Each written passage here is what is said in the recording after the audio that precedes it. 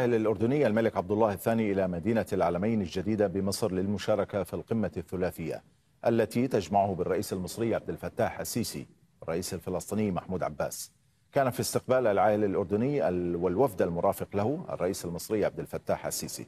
كما كان الوفد الفلسطيني الذي يتقدمه الرئيس محمود عباس قد وصل سابقا للمشاركة في القمة التي تبحث تطورات القضية الفلسطينية.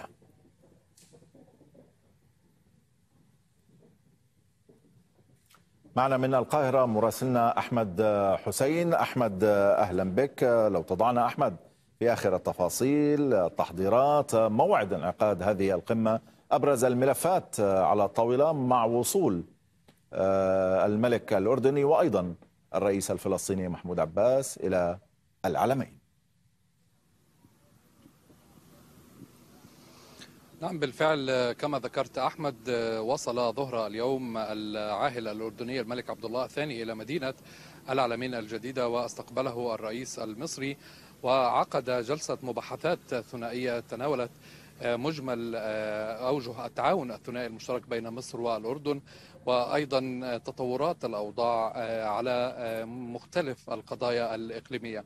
هذا الاجتماع أو هذه القمة الثنائية التي استبقت القمة الثلاثية المقرر عقدها الآن في هذه الأوقات بينما أتحدث كان الرئيس الفلسطيني قد وصل بالأمس إلى مدينة العلمين على رأس وفد يضم وزير الخارجية الفلسطيني رياض المالكي وأيضا مدير جهاز المخابرات العامة ومستشار الرئيس الفلسطيني للشؤون السياسية وأمين اللجنة المركزية في حركة فتح.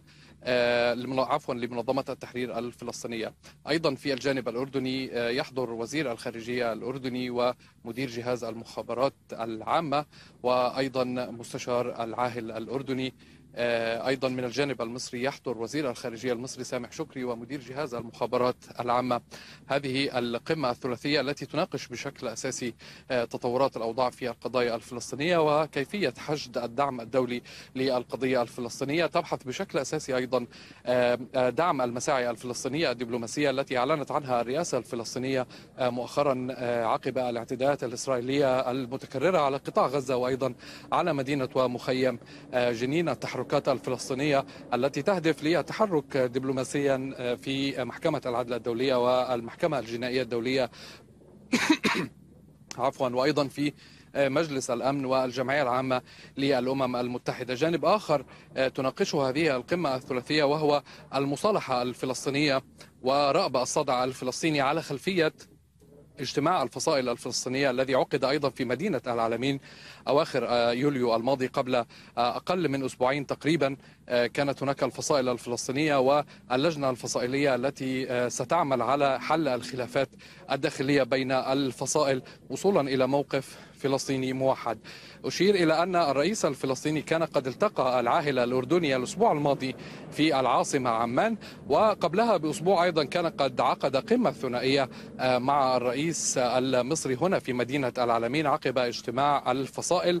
هناك تحركات سريعة بين الدول الثلاث لدعم القضية الفلسطينية على المستوى الدولي ضمن الآلية الثلاثية التي انعقدت أيضا في يناير الماضي في العاصمة المصرية القاهرة وأيضا عقبها في فبراير اجتماع آخر كان على, هم على هامش مؤتمر دعم القدس الذي استضافته الجامعة العربية.